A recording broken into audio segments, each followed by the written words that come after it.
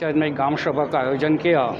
उसमें हमारा एक ही लक्ष्य है कि 4 सितंबर से 2 अक्टूबर तक हमारा सफ़ाई अभियान चल रहा है। साथ में जो सिंगल यूज़ प्लास्टिक है, उस पर प्रतिबंध, इधर प्लास्टिक का यूज़ ना हो, ऐसे हम लोग सभी मिलकर कोशिश कर रहे हैं, क्योंकि प्लास्टिक से जो हो रहा है तकलीफ़ें, जो अपने लोग जैसे कि अपना गाय है, ये पशु जो खाते हैं उससे उस बीमार होते हैं और उसकी जान भी चली जाती है।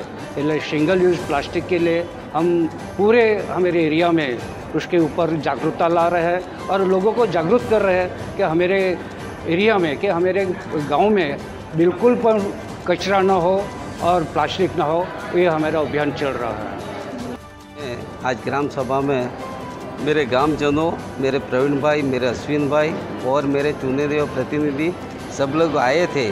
साफ़ सफ़ाई तो हो रहा है बोले, लेकिन थोड़ा गाँव में थोड़ा थोड़ा ये प्रॉब्लम है और काम कुछ होता नहीं है, वो बोल रहे हैं। और हमारा पखवाड़िया में एक तारीख तक हमारा प्रोग्राम चालू रहेगा। सभा रखी थी। हमारा एक सफ़ाई पखवाड़ चल रहा है, जिसमें हम 4 सितंबर से दो अक्टूबर दो अक्टूबर गांधी जयंती तक हम ये सफ़ाई का अभियान चलाने वाला है। जहाँ पे सफ़ाई का तो काम हर जगह चल ही रहा है, पर कुछ जो अनरिचेबल जगह है, जहाँ पे सफ़ाई नहीं हुई या हमारे नज़र से कुछ जगह छूट गई है, वैसी जगह पे हम स्पेशल टारगेट करके उनकी सफ़ाई का हमने कार्यक्रम लिया है। सारे ग्रामजनों के साथ हम ये कार्यक्रम करने वाले हैं। आगे भी ये कार्यक्रम में सबका श्रमदान रहेगा, सारे ग्रामजनों का श्रमदान रहेगा।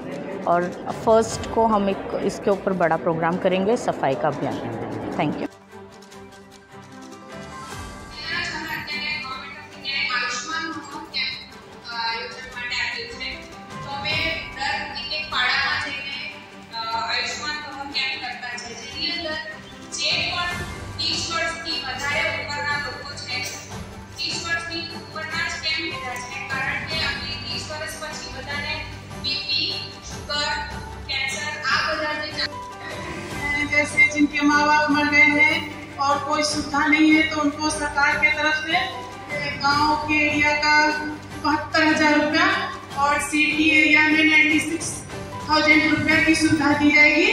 और जो भी आपके पंचायत में हैं, ऐसे बच्चे, उनको हमारे one zero nine number call करके हमारे समाज कल्याण विभाग में भेज दें और उनको सुविधा मुहैया करेंगे કે નોડલ ઓફિસર છે. આપણે જે કંઈ કામ કરશું, એનો બી આપણે રિપોર્ટ બનાવશું. સાથે તે દિવસે આપણી મિટિંગ ગઈ કે આપણા એરિયામાં સ્કૂલ હોય ગવર્મેન્ટ એસી હોય, કે એવી કોઈ બી વસ્તુ હોય કે આપણા ગામની કોઈ સમસ્યા હોય. તો આપણે એ સમસ્યા શું છે? એ પહેલાં આપણે સાંભળવું પડશે. દાખલા તરીકે